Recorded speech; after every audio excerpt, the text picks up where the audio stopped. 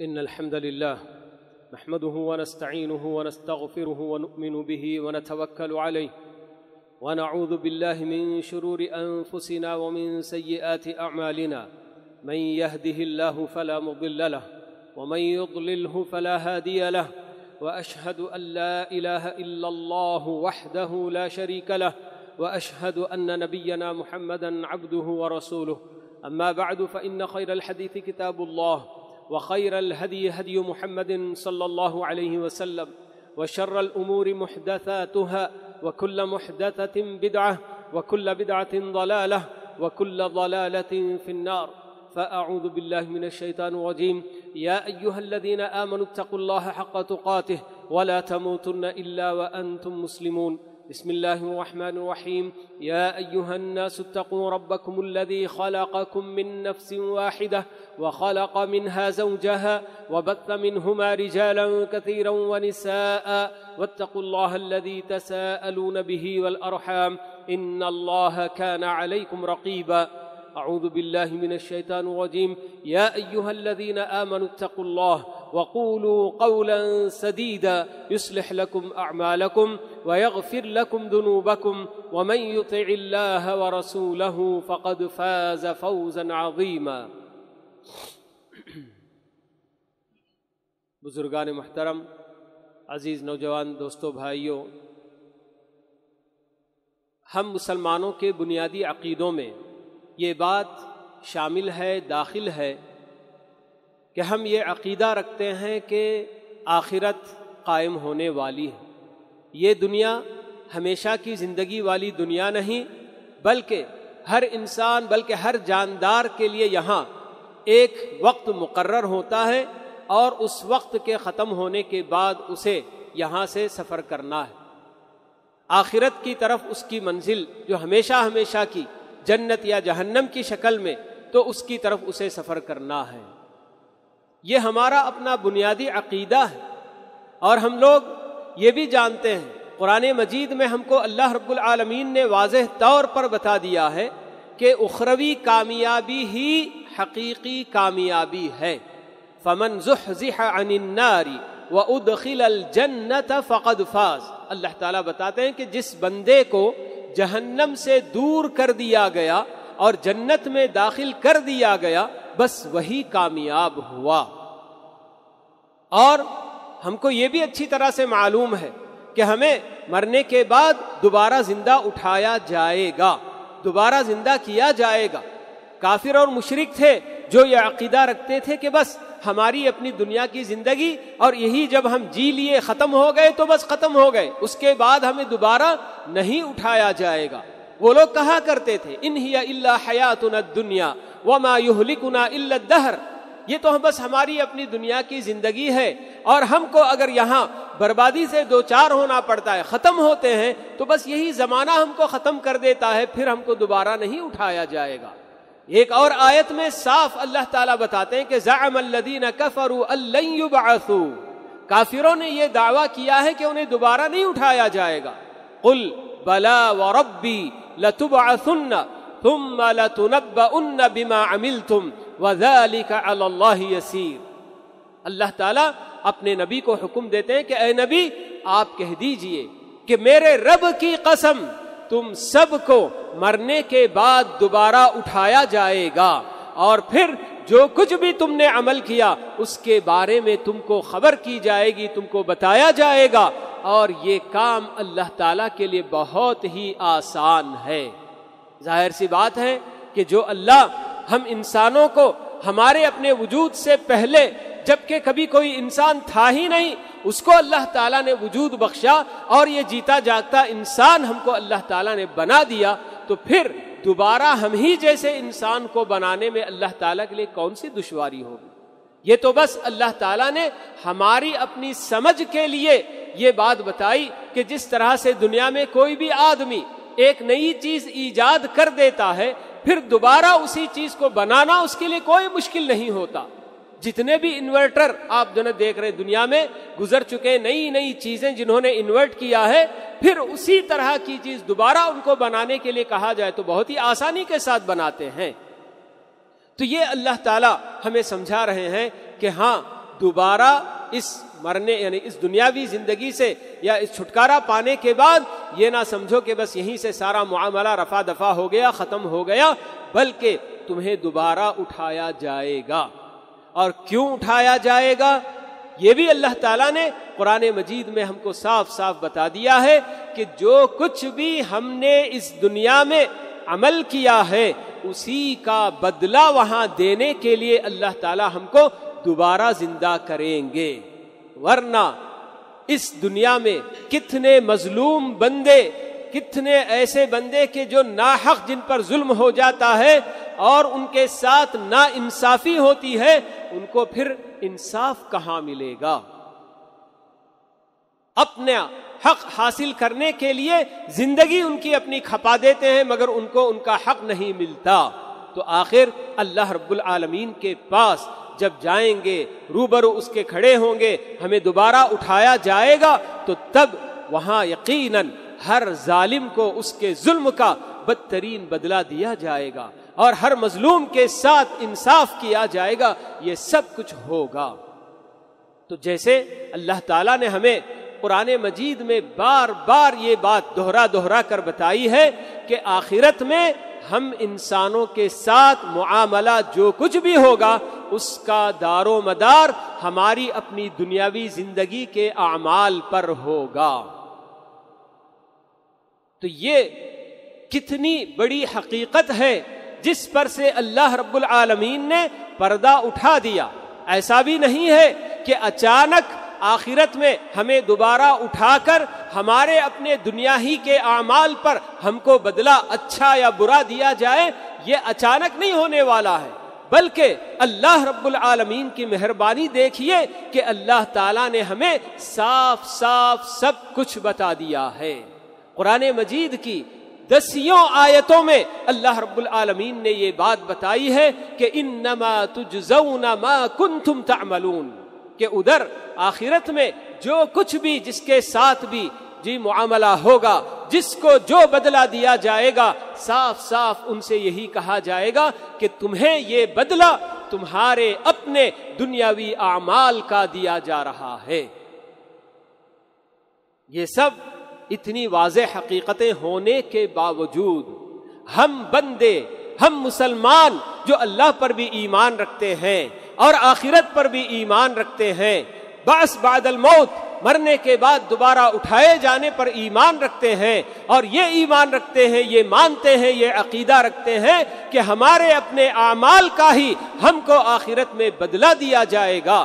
مگر اس کے باوجود ہمارے اپنے عمل کا حال اگر دیکھا جائے تو کتنی سستی اور کتنی کوتاہی اور کتنی غفلت ہم لوگوں سے ہو رہی ہے۔ حالانکہ ہمیں یہ بھی بات بتا دی گئی قرآن مجید میں کہ اگر ہمیں واقعی اللہ رب العالمین سے محبت ہے، ہمارے اپنے دین سے محبت ہے، تو ہمیں اس کا ثبوت عمل کے ذریعے دینا ہوگا۔ قل ان کنتم تحبون اللہ فاتبعونی یحببکم اللہ اللہ تعالیٰ بتاتے ہیں کہ اے نبی، آپ لوگوں سے کہہ دیجیے کہ اگر تم لوگوں کو اللہ سے محبت ہے، تو اس محبت کا ثبوت تمہیں صرف زبانی نہیں پیش کرنا ہے، بلکہ اتباع کر کے۔ اور اتباع کا مطلب ہی کیا ہوتا ہے؟ پیارے نبی صلی اللہ علیہ وسلم کے نقش قدم پر چلتے چلے جانا زندگی بھر۔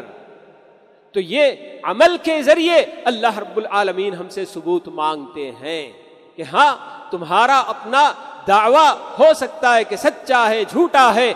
یہ ثابت کرنے کے لیے تمہیں پیارے نبی صلی اللہ علیہ وسلم کی قدم قدم پر پیروی کر کے آپ کے نقش قدم پر اپنی زندگی گزار کر دینا ہوگا کہ ہاں واقعی اللہ تعالیٰ سے تمہیں محبت ہے۔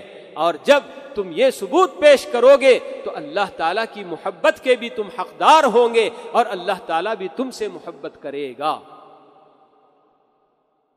جب ہم اس بات پر غور کرتے ہیں کہ آخر کیا وجہ ہے کہ اتنی ساری حقیقتیں ہم لوگوں کو معلوم ہونے کے باوجود عمل کے میدان میں کیوں یہ سستی ہو رہی ہے؟ آئے دن اللہ تعالی کی صبح شام ہم لوگ معصیتیں، نافرمانیاں کرتے چلے جاتے ہیں اور اللہ تعالیٰ کے احکام کیا ہیں اور اس نے کیا ہم سے مطالبہ کیا؟ یہ جاننے کی بھی ہم کوشش نہیں کرتے ہیں۔ تو اس کی وجہ کیا ہے؟ یہ جب ہم معلوم کرتے ہیں تو بنیادی وجہ، جسے آپ بیسک ریزن کہہ سکتے ہیں، تو ایک بات یہ سمجھ میں آتی ہے کہ ہمارے اپنے اندر، ہمارے اپنے دین کی محبت بالکل نہیں پائی جاتی۔ ہمارے اپنے دل، ہماری اپنی شریعت کے احکام سے محبت کرنے سے بالکل خالی ہیں۔ اور یہ ہمارے اپنے دین کی محبت ہمارے دلوں میں کیوں نہیں ہے؟ تو اس کی وجہ یہ سمجھ میں آتی ہے کہ اللہ رب العالمین کی جیسی معرفت ہم بندوں کو ہونی چاہیے، وہ معرفت ہم کو حاصل نہیں ہے۔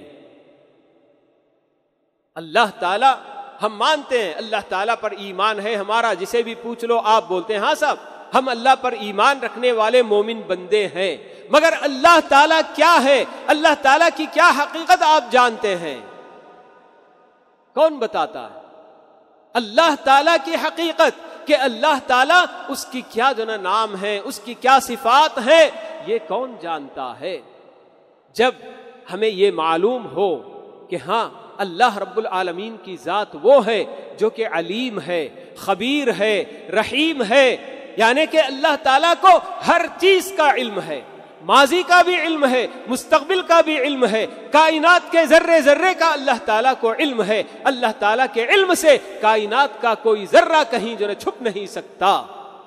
اللہ تعالیٰ کو معلوم ہے، ہم انسانوں کے بارے میں معلوم ہے، ہماری فطرت کیا ہے معلوم ہے، اس دنیا کی فطرت کیا ہے، اللہ تعالیٰ کو سب کچھ معلوم ہے۔ اور وہ اللہ جو اپنے بارے میں بتاتا ہے کہ یہ ارحم الراحمین ہے، رحم کرنے والے دنیا میں کیا کیا نہیں ہو سکتے، ان سب سے بڑھ کر اللہ تعالیٰ رحم کرنے والا۔ تو اللہ تعالیٰ اپنے بندوں پر بھی بے شمار رحمتیں برسانے والا، بے حد و حساب ان پر جو مہربان ہے ہمارا یہ پروردگار۔ تو رعوف ہے، رحیم ہے، علیم ہے، خبیر ہے۔ تو ایسے پروردگار کی جانب سے جب ہم کو شریعت کی شکل میں احکام دیے جاتے ہیں کہ زندگی گزارنے کا یہ ضابطہ ہے، آپ کو صبح سے شام تک ایسی زندگی گزارنی ہے۔ تو جب ہمیں اللہ کے بارے میں یہ معلوم ہو، تو تب ہم کو یقین ہوگا کہ میرا پروردگار، جو کہ سب کچھ جانتا ہے، تو اس کی جانب سے آنے والے کسی بھی حکم میں میرے اوپر کسی طرح کا کوئی ظلم نہیں ہو سکتا۔ اور وہ میرا پروردگار جو کہ ارحم الراحمین ہے، اپنے بندوں کو بے جا تکلیف نہیں دے سکتا، انہیں کسی طرح کا کسی طرح کے نقصان سے دو چار نہیں کر سکتا۔ تو ایسے پروردگار کی جانب سے یہ احکام آئے ہوئے ہیں۔ تو اس میں سراسر میرے اپنے فائدے کی ہی باتیں ہوں گی۔ تو یہ سب کب معلوم کر سکتا ہے؟ جب اللہ کے بارے میں بندے کو یہ علم ہو کہ اللہ کی ذات کیا ہے، اس کی صفات کیا ہے تو تب یقیناً شریعت سے بھی محبت ہو سکتی ہے۔ جب اللہ سے محبت ہو جائے گی، تو اس کے ساتھ ساتھ اس کے اتارے ہوئے احکام اور اس کی شریعت سے بھی محبت دلوں میں آئے گی۔ اور جب دلوں میں محبت پیدا ہوگی، تو آدمی عمل کرنے میں کوئی تکلیف نہیں محسوس کرے گا۔ ہمارے اپنے اسلاف کا یہی جو حال تھا کہ وہ لوگ اللہ تعالیٰ نے جس زبان میں کلام پاک اتارا، ان کی اپنی زبان تھی۔ ہماری اپنی مشکل یہ بھی ہے کہ ہم لوگ اللہ کے اس کلام کو سمجھنے کے لیے، اس زبان کو سیکھنے کی بھی ہمیں کوئی فکر نہیں ہوتی۔ ہم بس ٹرانسلیشن ہے، ترجمہ ہے، بس اسی پر اکتفا کر لیں گے۔ ہم کو کیا ضرورت ہے کہ جنا اللہ کے کلام کو براہ راست سمجھنے کی کوشش کریں؟ یہ بھی ہم لوگ کوشش نہیں کرتے۔ تو ہمارے اپنے اسلاف، صحابہ، تابعین وغیرہ کی جو زندگیاں، صبح سے شام تک اللہ رب العالمین کی فرما برداری کرتے ہوئے، اطاعت کرتے ہوئے کیسے گزری؟ تو اس کی وجہ یہی ہے کہ وہ لوگ اللہ کی باتیں سمجھتے تھے۔ اللہ نے اپنا انٹروڈکشن کیا کرایا ہے وہ جانتے تھے۔ اور اسی کی وجہ سے اللہ تعالیٰ کی اس دین سے ان کے دلوں میں بے تحاشا محبت کوٹ کوٹ کر بھری ہوئی تھی۔ اور اسی کے نتیجے میں اللہ تعالیٰ جو بھی احکام دیتے ہیں ان پر عمل کرتے ہوئے ذرا بھی وہ لوگ جھجکتے نہیں اور کسی طرح کا کوئی اعتراض بھی نہیں کرتے۔ تو یہ بنیادی وجہ ہے کہ اللہ رب العالمین کے بارے میں جیسے ایک مسلمان کو معلوم ہونا چاہیے، وہ معرفت ہم لوگوں کو حاصل نہیں ہے۔ اسی لیے اسلاف کرام کہا کرتے تھے کہ من کان باللہ اعرف، کان منہ اخوف، کہ جو بندہ اللہ تعالیٰ کی جتنی زیادہ معرفت حاصل کرے گا، اتنا ہی وہ اللہ تعالیٰ سے ڈرنے والا ہوگا۔ اور یہی بات اللہ تعالیٰ خود بتاتے ہیں کہ انما یخش اللہ من عباده العلماء، کہ اللہ تعالیٰ سے صحیح معنوں میں ڈرنے والے، جانکاری رکھنے والے۔ علماء کا یہ مطلب نہیں کہ کسی بھی مدرسے سے فارغ ہو کر سند لے کر آ گئے تو بس وہی علماء ہیں، نہیں۔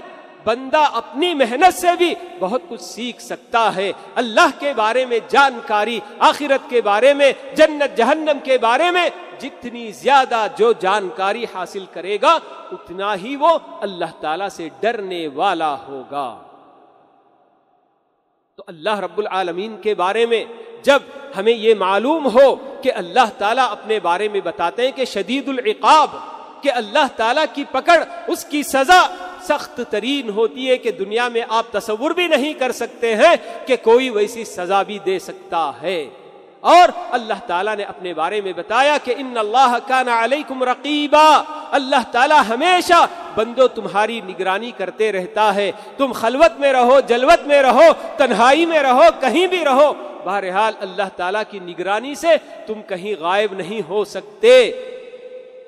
اور اللہ تعالیٰ یہ بھی بتاتے ہیں کہ اللہ اپنے بارے میں کہ علیم بذات الصدور کہ دنیا ہمارے اپنے دلوں میں کیا کیا خیالات ابھرتے ہیں، ہمارے اپنے دماغوں میں کیا کیا جو نا خیالات گردش کرتے رہتے ہیں، ان کا بھی اللہ تعالیٰ کو علم ہوتا ہے۔ یہ سب باتیں جب ہم لوگوں کو سمجھ میں آئیں گی تو تب یقیناً بندہ اپنی آپ کی حفاظت کرنے کی کوشش کرے گا۔ بھلے سے وہ تنہائی میں اکیلا بھی کہیں رہ جائے، اپنی آنکھوں کی، اپنے کانوں کی، اپنی شرمگاہ کی، اپنے ہاتھوں کی، پیروں کی، سب کی حفاظت کرنے کی وہ کوشش کرے گا، کیونکہ اسے معلوم ہے اپنے رب کے بارے میں کہ میرا رب تو ہر جگہ میری نگرانی کرتا ہے۔ تو یہ سب سارا قصور ہمارا اپنا ہے کہ ہم اللہ جس پر ہمارا ایمان ہے، اس کے بارے میں صحیح معنوں میں ہم لوگ معرفت نہیں حاصل کر رہے ہیں۔ جب جب بندے کی معرفت اللہ کے بارے میں بڑھتی ہے، یقین مانیے کہ اسی کے ساتھ ساتھ اس کی اپنی زندگی میں تبدیلی بھی آنی لازم ہے۔ اسی وجہ سے پیارے نبی صلی اللہ علیہ وسلم نے یہ بات بتائی کہ اللہ رب العالمین کے نوت پر نو ایسے نام ہیں کہ کوئی بندہ ان ناموں کا معنی مطلب وغیرہ سمجھ کر اچھی طرح سے ہمیشہ ذہن نشین کر کے ہمیشہ اسے اپنے ذہنوں میں تازہ رکھے گا تو ایسا بندہ جنت میں داخل ہوگا۔ کیا جنت اتنی آسان ہے، اتنی سستی ہے کہ ننانوے نام یاد کر لیے اور سیدھے جنت مل جائے؟ نہیں میرے بھائیوں، اللہ تعالی کے وہ نام ان کے اندر جو معنی پایا جاتا ہے، ان ناموں کا جو مطلب ہوتا ہے، وہ آدمی جب سمجھ لے گا تو اس کا ریفلیکشن اس کی اپنی زندگی پر ہوگا۔ اس کا اثر لازمی طور پر وہ اپنی زندگی میں دیکھے گا۔ اور اسی وجہ سے جنت میں داخلے کی بشارت دی گئی ہے۔ تو یہ سب ہمارے اپنے لیے جب تک ہم لوگ اللہ رب العالمین کے بارے میں زیادہ سے زیادہ جانکاری نہیں حاصل کریں گے۔ ہماری زندگیاں ایسے ہی دنیا کے پیچھے، خواہشات کے پیچھے اور اپنی شہوات کے پیچھے ایسے ہی ہم گزارتے چلے جائیں گے۔ جتنا زیادہ اللہ کے بارے میں ہم معلوم کریں گے اسی قدر ہم ہماری اپنے اندر کیا کیا خرابیاں، کیا کیا کوتاہیاں پائی جاتی ہیں، اس کا جائزہ لینے کی کوشش کریں گے اور اپنے آپ کو بدلنے کی ہم کوشش کریں گے۔ اگر آج صحیح معنوں میں ہر مسلمان اپنی اپنی جگہ پر، جیسے ہمارے اپنے اسلاف ہوا کرتے تھے کہ کوئی مسلمان کسی بھی طرح سے بالکل بدلا ہوا نظر نہیں آتا۔ مسلمان کا مطلب بالکل باطن میں جو عقیدہ وہ رکھتا ہے، اس کا پورا اثر اس کے ظاہر میں نظر آیا کرتا تھا۔ جدھر بھی جاتے، ان کو لوگ پہچان لیتے کہ یہ بھی مسلمان ہیں۔ مگر آج اگر ہمارے اپنے مسلمان، جو کہ کروڑوں کی تعداد میں اس وقت دنیا میں پائے جاتے ہیں، اگر واقعی معنوں میں مسلمانوں نے اپنے باطن کے مطابق اپنے ظاہر کو بنایا ہوتا تو آج ہمارے اپنے اسلامی احکام کا مذاق نہیں اڑایا جاتا۔ آج ہمارے اپنے پاس یہ جو حجاب کا مسئلہ لے کر سب لوگ جانتے ہیں کہ کس طرح سے دشمنان اسلام اس کے پیچھے پڑے ہوئے۔ وجہ کیا ہے؟ کیونکہ انہیں معلوم ہے، وہ یہی دیکھتے آئے ہیں کہ کروڑوں عورتیں ایسی ہیں جو کبھی پردہ ہی نہیں کرتی ہیں۔ اور یہ چند خواتین آخر کیوں پردہ کر رہی ہیں؟ کیا وجہ ہے؟ تو وہ یہ چاہتے ہیں کہ دوسری اور مسلم خواتین کی طرح سے یہ خاتون کیوں نہیں رہ جاتی؟ ہمارے اپنے پاس اس سے پہلے داڑھی پر بھی مسئلہ اٹھا تھا۔ جی فوج میں اگر کوئی بھرنا چاہے، مسلمان بھرتی ہونا چاہے، تو اس کے اوپر پابندی ہوتی ہے کہ وہ داڑھی نہیں رکھ سکتا۔ حالانکہ چھوٹی سی ایک قوم جو سکھ کہلاتی ہے، ان کو پوری طریقے سے اپنے مذہبی شعائر کو اپنانے کی اجازت ہوتی ہے۔ مگر ہمارے اپنے مسلمان اس وقت جب احتجاج کرنے لگے کہ ہم مسلمانوں کا ایک عقیدہ ہے، یہ ہمارا شعار ہے، تو کیا کہنے لگے؟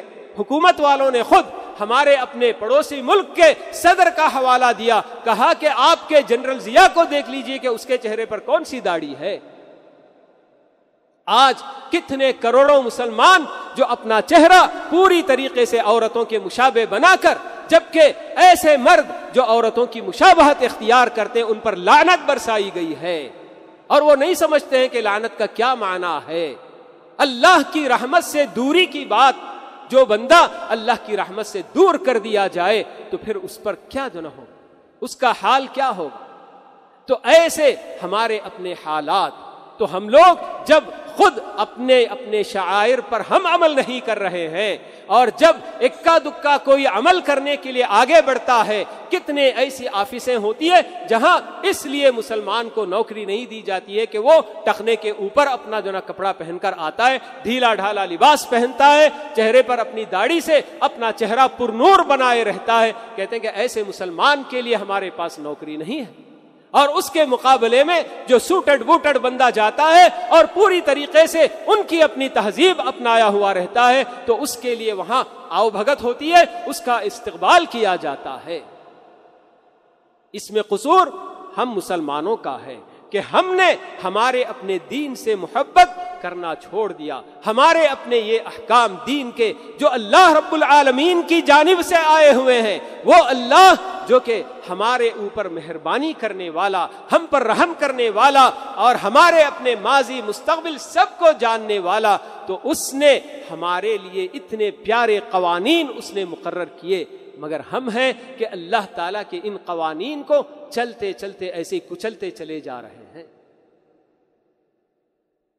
تو یہ بہت ہی المیہ ہے اس وقت ہمارے اپنے مسلمانوں کا کہ ہم مسلمان عمل کے میدان میں جبکہ ہمیں معلوم ہے اچھی طرح سے کہ جو کچھ بھی اس دنیا میں ہم عمل کرتے ہیں، اسی کے مطابق آخرت میں وہاں ہمارے لیے یا تو جنت کے دروازے کھولے جائیں گے یا جہنم کے گڑھے میں ہم کو لے جا کر ڈھکیل دیا جائے گا۔ مگر اس کے باوجود ہم لوگ ہماری اپنی زندگی، ہماری اپنی خواہشات چھوڑ کر نکلنا نہیں چاہتے ہیں۔ ہم نے اپنے لیے ایک خول جو بنا لیا ہے، ہم نے اپنی ایک روٹین بنا لی ہے، تو اس روٹین کو بدلنا بالکل نہیں چاہتے ہیں۔ تو یہ بہت بڑے افسوس کی بات ہے، بہت بڑی علمے کی بات ہے کہ ہم اس سب حقیقت سے واقف ہو کر بھی عمل کے میدان میں ذرا بھی ہم کوشش نہیں کرتے ہیں کہ ہم آگے بڑھیں۔ ہاں جب بندے کو علم ہوتا ہے کہ میرا پروردگار ایسا ہے کہ وہ غفور بھی ہے، توبہ قبول کرنے والا بھی ہے، تو تب جب جب اس سے کوئی غلطی ہو گئی کوتا ہی ہو گئی، تو وہ اپنے رب کے آگے گڑ گڑائے گا۔ امید کیا، امید کا دامن تھامے گا کہ میرا پروردگار میرے توبہ کرنے سے خوش ہوتا ہے اور میرے گناہ معاف کر دے گا۔ لیکن بندہ یہ سب چیزیں جب جانتا نہیں اور ان سب چیزوں کو جاننا چاہتا بھی نہیں، تو اسی لیے صبح سے شام تک جو گناہ کرتے جاتا ہے، ان گناہوں میں ویسے ہی پڑا رہتا ہے۔ تو یہ ہمارے اپنے لیے جی سوچنے کا وقت ہے۔ غفلت سے بیدار ہونے کا وقت ہے کہ ہمیں اپنے آپ کو بدلنے کا عزم کرنا ہے۔ پکا ارادہ کرنا ہے کہ اب تک جو کچھ بھی میں اللہ رب العالمین کی نافرمانی کرتے ہوئے زندگی گزار دیا اب آئندہ جتنی بھی میری زندگی باقی ہے، کیونکہ ہر شخص جانتا ہے کہ ہر انسان کے لیے عمر اللہ تعالیٰ نے طے کر دی ہے، جتنی عمر گزر گئی اور آنے والا بہت کم رہ گیا۔ تو ایسے میں ہر ایک کو اپنے آپ کا جائزہ لے کر، اپنے آپ کو بدلنے کی اور اپنے خواہشات کی قربانیاں دینے کی ضرورت ہے۔ کیونکہ اسی پر ہماری اپنی آخرت کی کامیابی کا دار و مدار ہے۔ تو ہم چاہے ہم مرد ہوں، عورتیں ہوں جی جوان ہوں یا پھر دنوں عمر رسیدہ ہر ایک کے لیے اپنی اپنی غفلت سے بیدار ہونے کا یہ وقت ہے اور عملی زندگی میں اصلاحات لانے کی ہمارے لیے بہت سخت ضرورت ہے۔ اللہ رب العالمین ہم میں سے ہر ایک کو اپنا جائزہ لے کر اپنے اندر کیا کوتاہیاں ہیں، ان سے باز آنے اور اللہ رب العالمین کے احکام کے مطابق زندگی گزارنے کی اللہ تعالیٰ سارے مسلمانوں کو توفیق نصیب فرمائے۔ اقول قولی هذا واستغفر الله لي ولكم ولسائر المسلمين من كل ذنب فاستغفروه انه هو الغفور الرحيم